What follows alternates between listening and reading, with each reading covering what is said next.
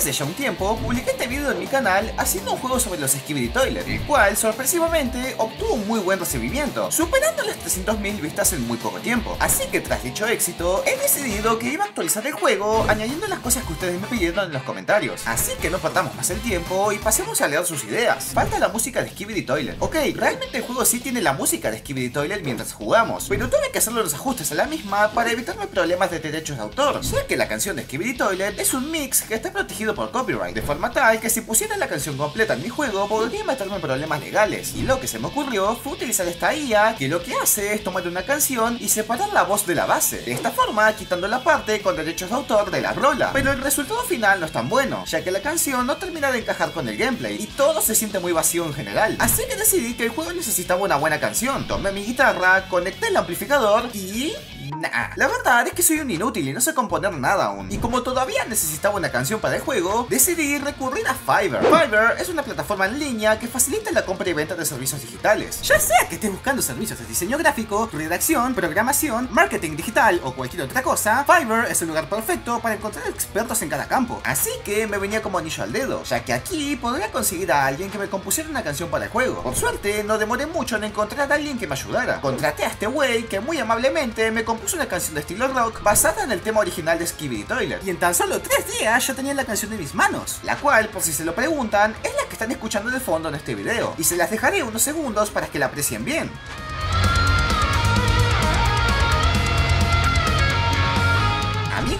Brutal. Así que ahora, esta será la canción oficial que sonará de fondo durante la partida. Vamos con el siguiente comentario. Se ve bien chido el video, pero te doy una idea, que tengo un botón para jugar en primera persona. La verdad es que el modo en primera persona es una idiota, y algo que por algún motivo no se me había ocurrido añadir al inicio. Así que pongámonos con eso. Lo primero que hice fue ajustar la posición de la cámara, poniéndola en la misma posición que la cabeza del personaje. Pero había un problema, y es que al cambiar la cámara en primera persona, la cabeza del personaje nos estorba en la visión, y tenemos que arreglar eso. La solución fue muy simple, ya que simplemente escondí la cabeza del jugador cuando se cambia la perspectiva en primera persona. Y de esa forma, el modo en primera persona ya funcionaba. O bueno, más o menos, ya que el apuntado manual no funcionaba. Así que tras hacer unas correcciones y ajustar el desplazamiento de la cámara, logré hacer que se pueda apuntar en primera persona y la verdad es que el resultado me dejó muy satisfecho. Pero bueno, pasamos al siguiente comentario. ¿Puedes añadir más mapas? La verdad es que desde el primer momento en el que hice este juego, consideré en añadir más mapas. Así que hoy me voy a dar la maña de hacerlo. Me fui a la Epic Store y elegí este asset de una ciudad pequeña, el cual quedaría genial como un nuevo mapa para el juego. Importé este nuevo mapa al juego y es que amigo, se ve increíble. El nivel de detalle es impresionante, con charcos, props, vegetación y muchos objetos en buena resolución que añaden un plus de inmersión al juego. Así que con el nuevo mapa importado, pasemos al siguiente comentario. ¿Puedes hacer uno para Android? Así como este comentario, me llegan muchos por día preguntando lo mismo. Y no solo en este video, sino que en prácticamente cualquier video que subo, siempre hay alguien preguntando si sacaré una versión para Android. La realidad es que esto es prácticamente imposible, ya que como sabrán, mis juegos están hechos en Unreal Engine 5, un motor que no fue pensado desde sus inicios para hacer juegos en plataformas móviles, como Android por ejemplo. Y digan lo que quieran, pero Fortnite en Android corre como el culo. Hasta en un gama alta corre mal. Y eso que el juego está hecho por la propia Epic Games, los creadores del Unreal Engine. O sea que ni los propios creadores del motor fueron capaces de optimizar bien su propio juego para Android. Menos lo voy a hacer yo solo.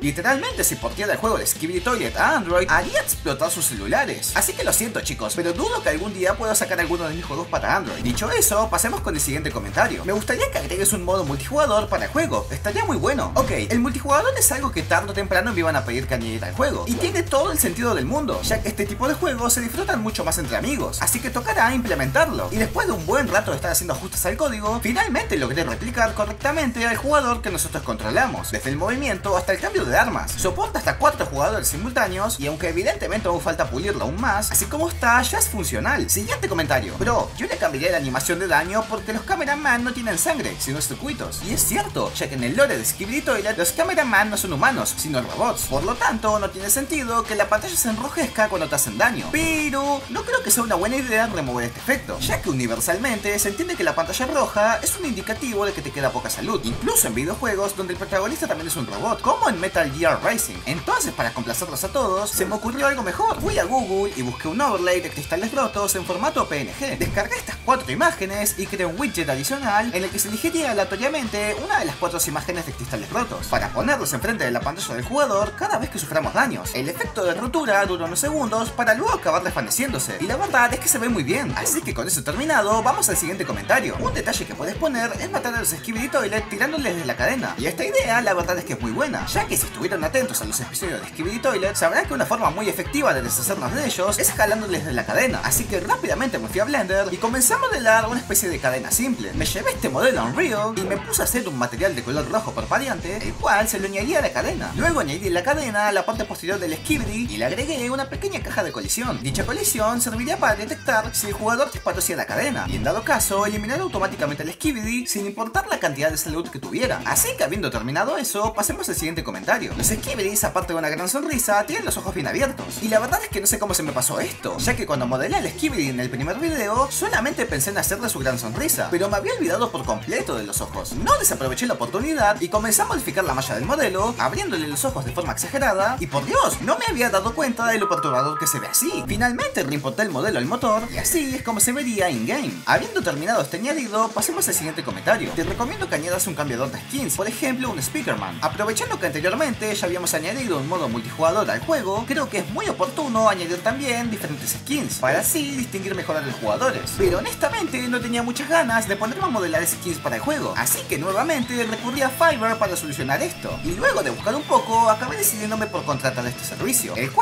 se encargaría de modelarme dos skins adicionales para el juego, siendo una del Speakerman más básico de la serie y el otro siendo un TV Man. Y fue tan fácil como describirle al artista el aspecto de ambos personajes, además de adjuntarle algunas imágenes de los personajes para que el artista pueda usar como referencia. Envié el pedido y en cuestión de unos días recibíamos modelos con una calidad de modelado sobresaliente y rápidamente los importé al motor. La verdad es que el resultado in-game es sencillamente asombroso, así que con este añadido listo, pasemos al siguiente comentario. Si pudiera recomendar algo, un jefe en ciertas oleadas sería brutal. Muy buena recomendación, Roax, maldita sea. Vamos a hacerlo. Estuve pensándolo un poco y acabé decidiendo que un buen jefe para el juego podría ser un Skibidi gigante con tres cabezas en lugar de una, como el que se ve en uno de los episodios. Así que para eso me fui a Blender y modelé este Skibidi de tres cabezas, al cual también le hice una animación de ataque en donde arremete con todas sus cabezas contra el jugador. Luego lo puse en el mapa, pero probándolo me di cuenta de que le faltaba algo a este jefe como para que podamos llamarlo jefe como tal.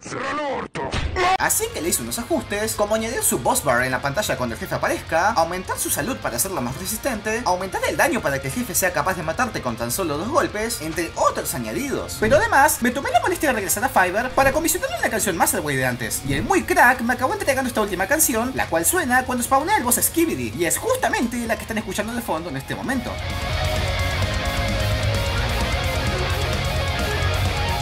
Na, na, este tipo es un genio. Así que finalmente el jefe de juego ya estaba terminado. Ya por último tocaba subir el juego a mi página Nichio, pero me di cuenta de que el juego no tenía un logo oficial aún. Y como yo no tengo ni una mínima noción sobre el diseño de logotipos, decidí que sería una buena idea recurrir una última vez más a Fiverr. Acabé encontrando este anuncio y le pedí que me haga un logo para el juego. Le describí como quería el logo y en tan solo unos días acabé recibiendo este increíble logo, junto con el archivo de vectores para editar la imagen a mi gusto. Un excelente servicio la verdad. Añadí el logo a la página de Del juego, y con eso último, finalmente el juego ya estaba terminado. Muchas gracias a Fiverr por patrocinar este video. Recuerden que siempre que necesiten contratar algún servicio, pueden contar con Fiverr para ello. Pero en fin, recuerden suscribirse ya que nos falta poco para llegar a los 100.000 suscriptores. También pueden pasarse por mi canal secundario, unirse al Discord del canal y seguirme en Twitter e Instagram. Dale un Gil. No se olviden tomar la chocolatada y nos vemos en la próxima. Nos vemos.